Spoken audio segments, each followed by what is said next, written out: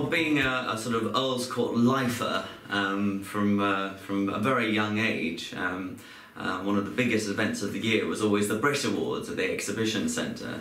Um, and uh, it went on and on. It's one of those things because it was so close and you live just five minutes away. You think, yeah, no, I'll do that. I'll do that some some year, and I never did. And then finally, you know, um, a few years ago, it, it suddenly dawned on me that this was going to be the last Brit Awards at the Exhibition Centre. There was going to be no more. I hadn't got tickets, and I was watching on my little TV in my kitchen, um, just in uh, um, just off the old Brompton Road.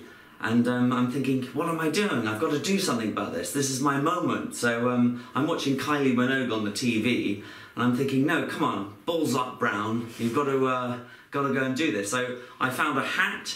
I thought that'll make me look quite cool. I put on a dinner jacket and a t-shirt because I thought that sort of made me look fairly like artsy.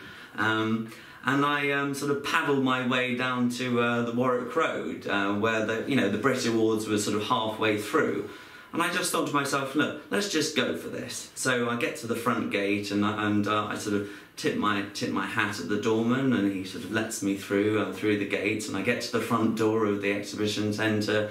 And again I just sort of stare the chap straight in the eye and just wave and he opens the door for me, no ticket shown and then I'm into the arena, and so so then it's I'm I'm sort of finding my way around the inner sort of um, the outer rim of the arena and can't actually see the stage. And I think, well, you know, I'm here now. Let's just go for it. So. Uh, as I go around, I see VIP entrance. So I thought, well, I've got a hat on, you know.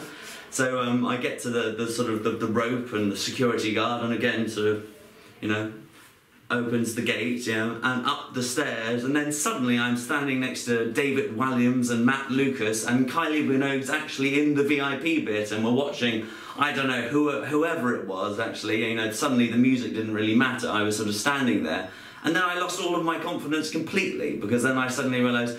I'm not meant to be here. I'm a complete imposter. Um, so I sort of stood there for about sort of 10 minutes and nodded my head, and people sort of smiled at me and nodded and thought, who is that? And um, then I left.